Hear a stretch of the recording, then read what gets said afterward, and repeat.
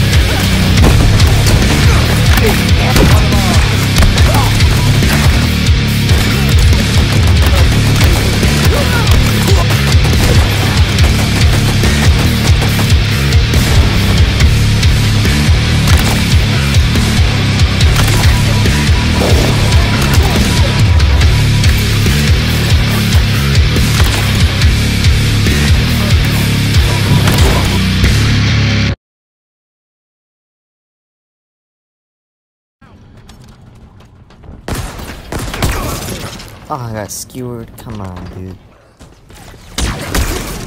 Again? Is that the same guy?